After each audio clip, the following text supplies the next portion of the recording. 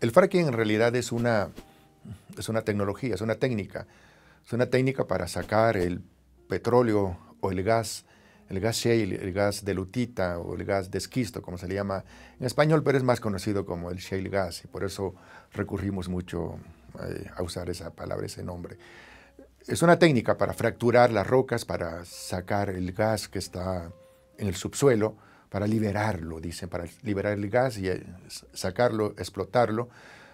Y es una técnica que recurre a la utilización de millones de litros de agua que se inyectan en el subsuelo para abrir las rocas y miles de toneladas de sustancias químicas tóxicas que se usan también para este procedimiento. Se trata de hacer accesible ese gas, ese petróleo, comercializarlo, pero en el camino, en el proceso de extraerlo, ocurren muchos problemas, pueden ocurrir muchos problemas.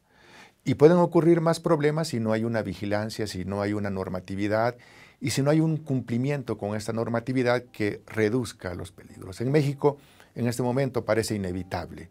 Parece inevitable que empiece la explotación del shale gas, están las condiciones jurídicas, las condiciones normativas, los diputados, los senadores han aprobado las, leyes, hoy se va a promulgar las leyes secundarias, entonces el camino está allanado.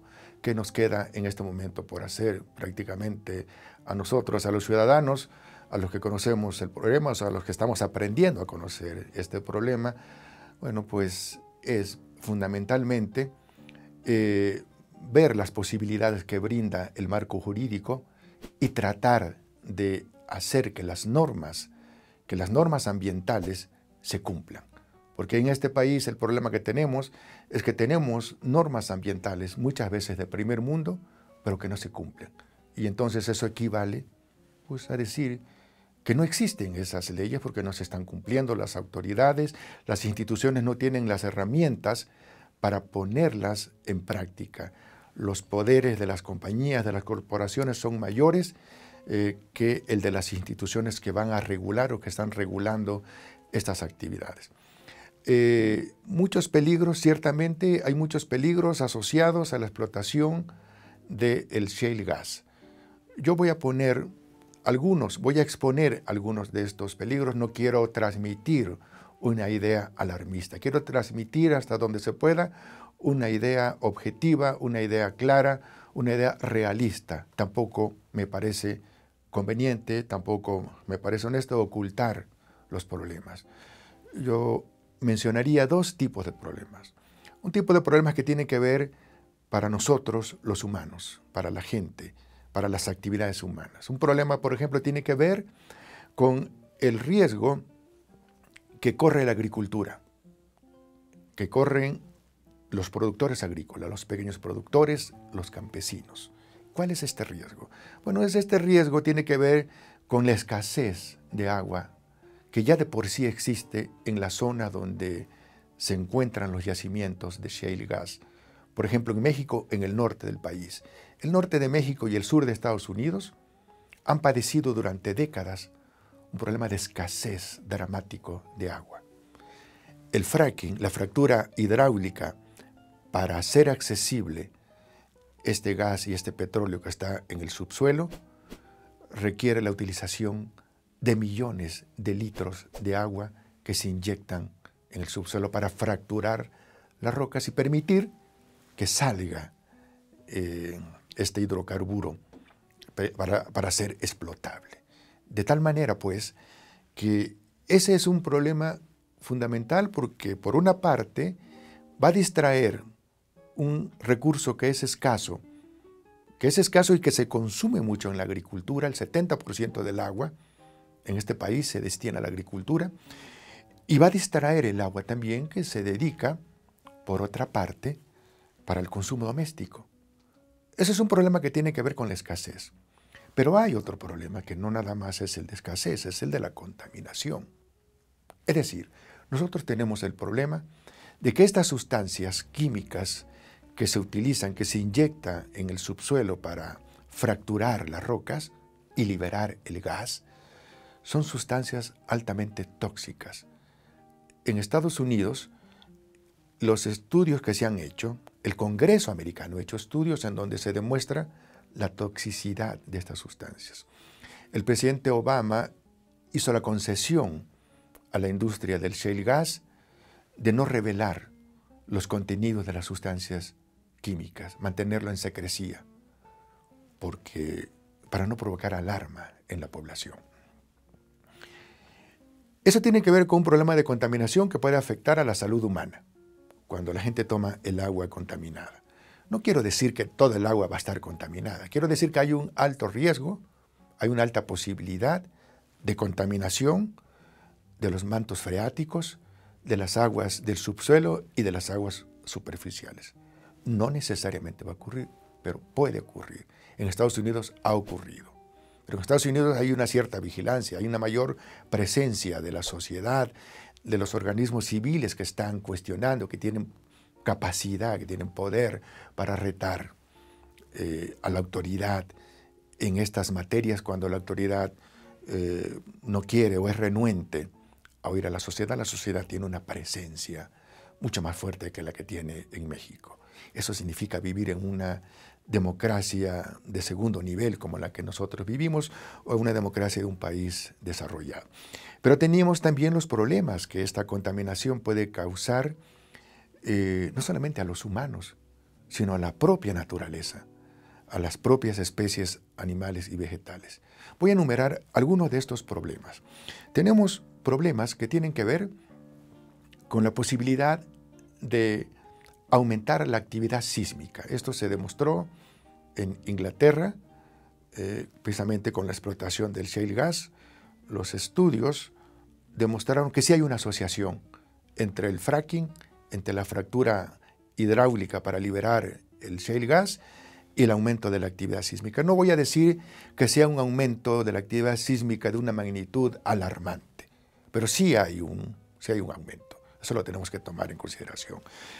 Otro problema, otro problema que tenemos que tomar en cuenta también es la, cuando se libera el gas, no solamente se libera el gas, también se libera metano, que es un gas de efecto invernadero, y también se libera material radiactivo. O sea, viene junto con el gas. Está, estamos abriendo, se está abriendo las rocas, el subsuelo profundo. Y está ocurriendo esta posibilidad. Eh, la contaminación de las aguas, la contaminación de la naturaleza, de los cuerpos de agua, todos estos son problemas reales. En México, la reforma energética y las condiciones jurídicas que se han creado ya hacen inevitable la entrada en escena del cielo gas. Por lo tanto, nosotros en este momento lo recomendable es ver de las normas ambientales que se están poniendo en vigor o que, o que deben entrar en vigor, o de las instituciones ambientales que van a intentar contrarrestar los efectos colaterales dañinos del shale gas, ver la posibilidad de que la sociedad esté vigilante, esté atenta al cumplimiento de la normatividad. Porque ese ha sido un problema que hemos tenido en México. Repito, leyes de primer mundo y un cumplimiento de estas leyes de quinto mundo. Hay un hay un punto que quiero mencionar que me parece importante. El shale gas es una actividad que involucra muchos elementos de la sociedad, eh, elementos que tienen que ver con la economía, elementos que tienen que ver también con la política, con la política nacional y con la política internacional. Voy a mencionar algunos de estos elementos. En Estados Unidos, por ejemplo, el gas, el shale gas, está provocando, por supuesto, una revolución una revolución en los precios también, no nada más una revolución tecnológica, una revolución en los precios y una revolución en la política también. Una revolución en los precios porque ha hecho posible que este gas sea más barato, sea más económico. Entonces lo que está ocurriendo es que algunos expertos han dicho el shale gas contamina menos, tiene menos gases de efecto invernadero. Eso habría que verlo, es posible. Pero eso se contrarresta con el hecho de que en Estados Unidos se está consumiendo más gas en este momento porque es más barato. Una cuarta parte del gas que se consume en Estados Unidos viene del shale gas. Y se está consumiendo más porque es más barato. De, tal manera que las posibles ventajas de un hidrocarburo que, que contamina menos en términos de gases de efecto invernadero, está consumiéndose más. Eso se dice, por ejemplo, en Estados Unidos es más barato el gas en este momento por efecto del shale gas y del fracking. En México va a ser más barato. Esa es una lógica que es muy fácilmente de ser refutable. Porque no depende únicamente de que en un país cueste menos para que en el otro, como México, se transfiera esos menores costos. Estados Unidos son los dueños del capital, tienen el capital financiero, comandan la economía financiera mundial. Estados Unidos tienen control de la tecnología. La tecnología la usan en el shale gas no únicamente para explotar directamente, las compañías americanas para explotar directamente el shale gas, sino venden la tecnología a los que la quieran utilizar. Entonces tienen control de la tecnología. Tienen control de la producción de las sustancias químicas que se utilizan para la fractura hidráulica. Entonces tienen control de toda una serie de factores que intervienen en la producción del shale gas que hace que para ellos sea más barato y para nosotros vaya a ser más caro. No tiene por qué ser más barato aquí porque es más barato allá. En Estados Unidos es más barato la renta de los teléfonos celulares que en México ¿Por qué no es más barata en México? Por todos estos elementos que estoy hablando del control de la tecnología, del control de los capitales financieros. En Estados Unidos, por ejemplo, y en Europa, las tarjetas de crédito, los mismos bancos que operan en México, que operan en Estados Unidos y en Europa, ofrecen las tarjetas de crédito, supongamos por decir algo, con una tasa de interés del 15 al 25% anual. En México, los mismos bancos cobran más del 50%. Si nosotros decimos, bueno, es que en Estados Unidos es más barato y en México va a ser más barato, pues ya tenemos la prueba de que no ocurre así. Por todos estos factores. El crédito hipotecario en Estados Unidos es más accesible y cuesta menos que en México. Intenten tomar un crédito hipotecario o un crédito para adquirir un, un automóvil en México y se van a dar cuenta de la diferencia de los costos del crédito. Entonces esa lógica no es aplicable. Por el lado de la política, el shale gas le permite a Estados Unidos algo muy importante, aparecer en la escena mundial como un país autosuficiente, como un país que le manda al mundo el mensaje, no vamos a depender de los países árabes, no vamos a depender de la OLP, no vamos a depender de Venezuela, podemos ser independientes. No sé hasta qué punto Estados Unidos pueda mantener esta independencia hasta durante cuánto tiempo. A lo mejor no va a ser por mucho tiempo, pero mandar ese mensaje es un mensaje absolutamente político. Y también es un mensaje que se le manda a Rusia, que los países europeos pueden dejar de depender de la tiranía del gas ruso. Rusia eh, tiene sometida a parte de Europa por su dependencia del gas ruso, la dependencia de Europa del gas ruso. Quienes más están sometidos son los antiguos aliados de la Unión Soviética, la Europa Oriental, a quienes Rusia le vende el precio del gas al doble de lo que se lo vende a Europa Occidental, porque tiene menor capacidad de negociación.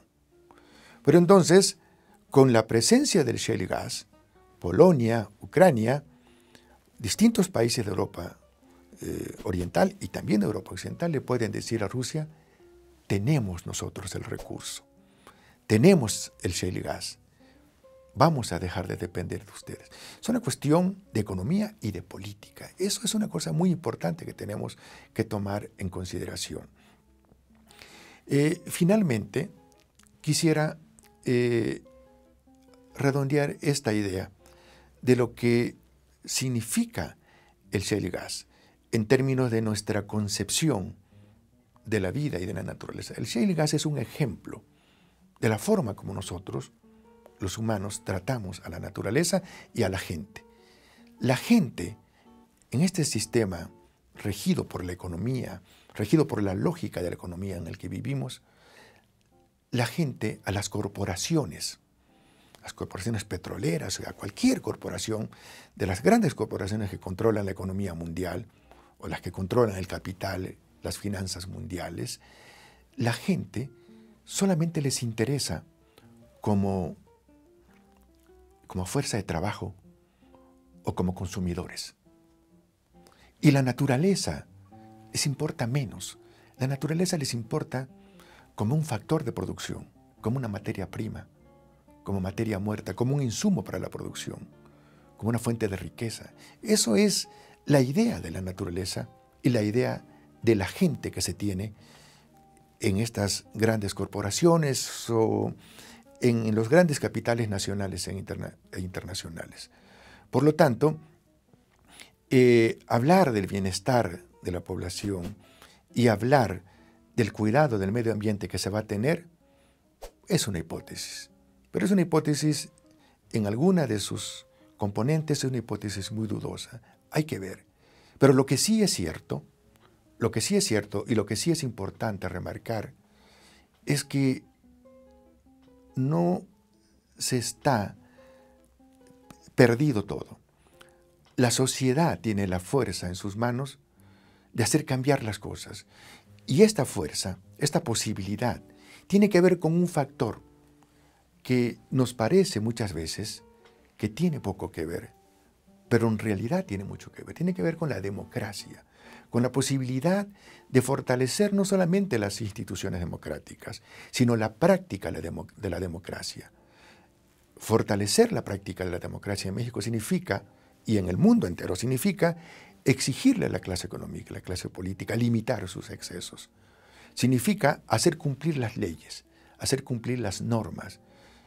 Si hay una norma que da la posibilidad de proteger a la gente, de proteger a la naturaleza contra esta depredación de los recursos y de la fuerza de trabajo de la gente, entonces exigir que se ponga en práctica esa ley, esa norma, exigir que, se, que haya sanciones a los que violen estas normas y estos estándares ambientales. En ese sentido, por eso es que menciono la idea de fortalecer las instituciones y la práctica de la democracia es algo que está estrechamente vinculado y que tiene un potencial transformador tremendo que no hemos todavía sido capaces de asimilar en toda su magnitud. Estas, estas posibilidades que nos abre el ejercicio de una sociedad democrática puede controlar, puede disminuir los excesos que se traducen en depredación de los recursos humanos, en sobreexplotación de la gente, en tremenda desigualdad, en la tremenda pobreza que existe en países como México. Muchas gracias.